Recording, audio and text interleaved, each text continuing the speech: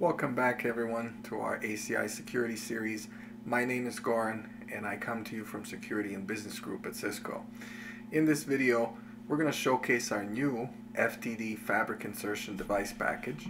We had posted this recently on cisco.com as our first release and plan on improving it very quickly here. This device package follows a hybrid model where we share the full configuration of our Firepower Next Gen firewall between security admin that can configure those intricate policies through our unified manager FMC and also network administrator that can use APIC with imported device package to orchestrate interfaces necessary to get traffic into the appliance and get that traffic attached to appropriate policy that security admin put in place. This device package can create our interfaces on virtual and physical FTD appliances. It can orchestrate the right mode of operation, create those security zones we need, and attach them to existing uh, policy and rules. So let me give you a quick demo. Here I have a tenant with some EPGs. Out of these EPGs, we're going to work on web and app EPGs, which are in the same subnet, but uh, two different bridge domains. Our ASA 5525 running FTD image is registered as a device in APIC here using our fabric insertion device package it's given a go through function type. Here's the credentials to log into that FMC. Uh, what interfaces are attached into the fabric to drive that traffic in, what IP address, and here is our Unified Manager FMC IP that we're going to be using. For this device package, we are using function profile that was based on template within FTD device package and here I had modified my access policy to be FTD uh, policy as you see here and a couple of rules. Here's our BVI interface that has this particular IP address that's in the subnet of the two endpoints and I can also name my security zones as you see here with app and web zones and interfaces as well can be named appropriately to match um, what our tenant uh, inspections are. So let's take a quick look at our FMC. We have our ASA 5525 appliance that runs FTD. We can see its interfaces here and in terms of policies, here's that access control policy I'm referencing in the device package that I want this service graph to use and I have one rule where I have predefined destination protocols I want to be used and set allow.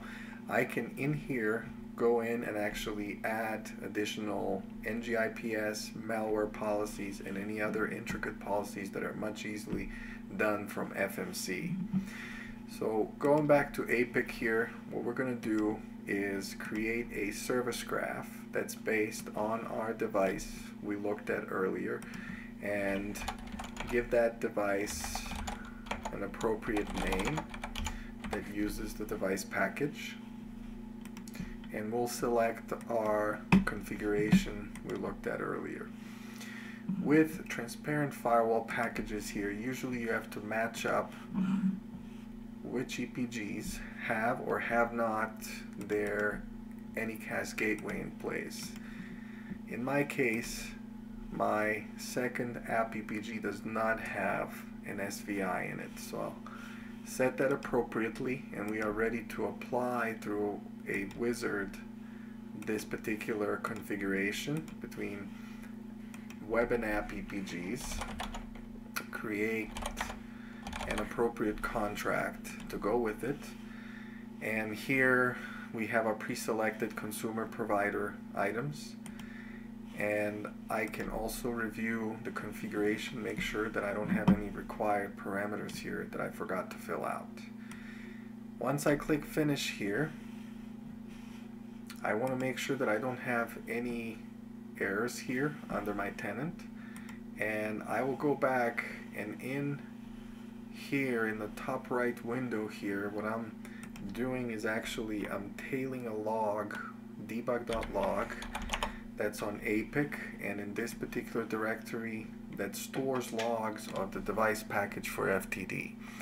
In this log, when I gave it a go, APIC showed me the configuration that I'm going to place on this FTD appliance that you see here in JSON and also it gave me device spec in terms of what FTD IP addresses or FMC IP addresses I'll be using. So while that is service graph is coming into place, we're gonna let it uh, do its thing and we're gonna show you here the two endpoints are on the same subnet 1010 and we want to establish connectivity through our FTD device.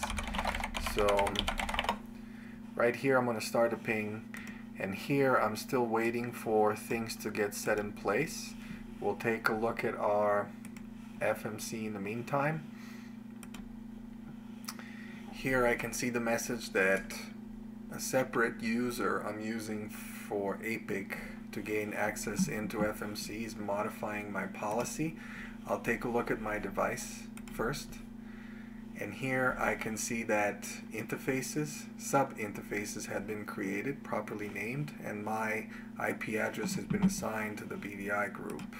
And under policies themselves, I can see security zones applied to my rule that I put in place and the new rule was also created with the deny action. The zones are actually applied in there as well. so at this point it looks like my configuration had been applied through FMC to my FTD and I can see that the connectivity had been established between the two devices.